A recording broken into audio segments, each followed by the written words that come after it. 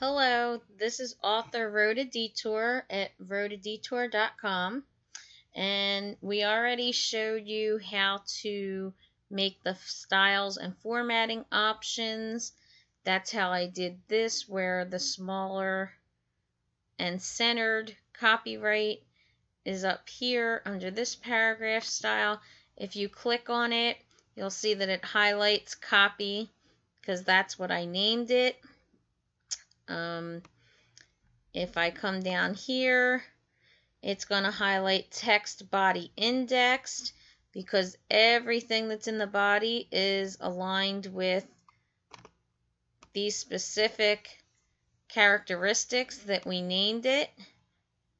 Justified, the indents are at 0.3, and you could do all different kinds of things with this. This is a really cool system for people to learn.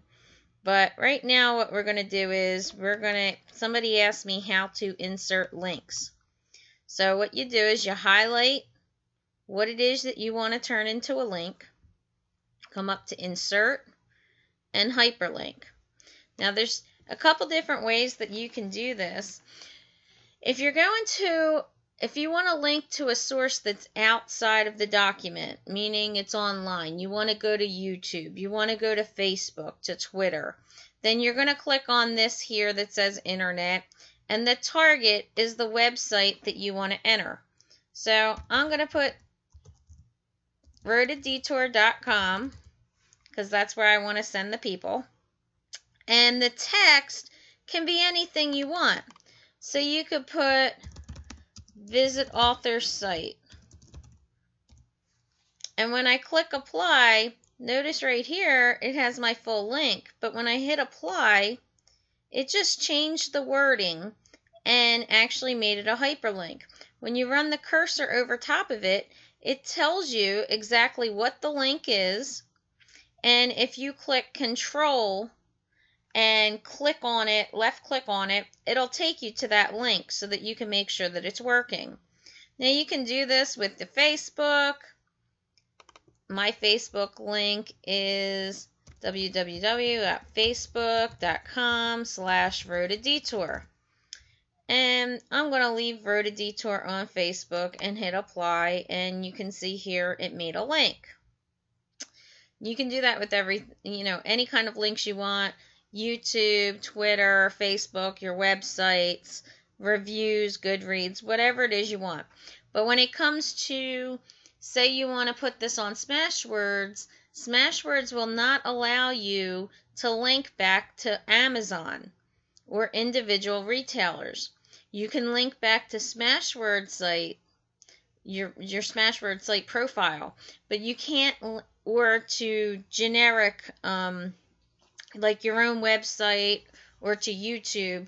But what happens is Apple and Barnes and Noble and the other retailers, they don't want you linking back to sales sites for other retailers for their competitors. So you have to be careful where you link to.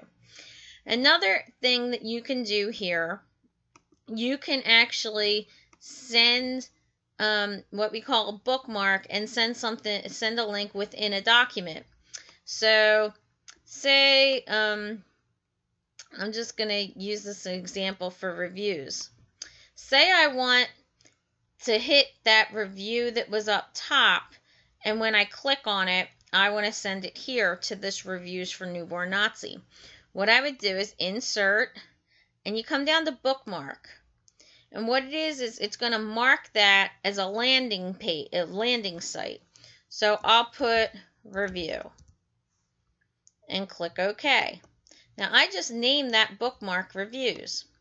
So when we come back up to the original the original place, I'm going to highlight this reviews and now I'm going to insert hyperlink. This time instead of clicking on internet, we're going to hit document because you're actually going to find a landing site within this document. When you do this, if you look here, it says target in document. Click on this bullseye, and then you come over here and click on bookmarks. And you'll see reviews. That's what we named the landing bookmark. So when you double click on it and you can hit apply, you're going to see a pound sign and whatever you named your bookmark. Again, you can name this anything you want. You can name it, I could name it review for newborn Nazi, and it's going to change. When I click, you see it actually changed the wording. If I just want to put it back to reviews, then I could click apply again and it changes it back again. Now, this is how um, you can manually set up a table of contents, but you don't necessarily have to do that if you have Calibre, which is a free program, which I'm going to show in, on another video how you can do that. But as far as hyperlinking and bookmarking, this is the best way to navigate throughout your system when you're using OpenOffice. Um, I found it to be really easy and uh, you can do a lot with it. And by doing it this way, rather than having, you know, your sales links that can look um, kind of long and unprofessional, rather than doing that, you can just put buy my book. You know, you can make this buy on Amazon instead of this huge long link. And then when you click apply, it'll say buy on Amazon with the link. So if you have any questions, be sure to post below and visit me at rhodadettore.com.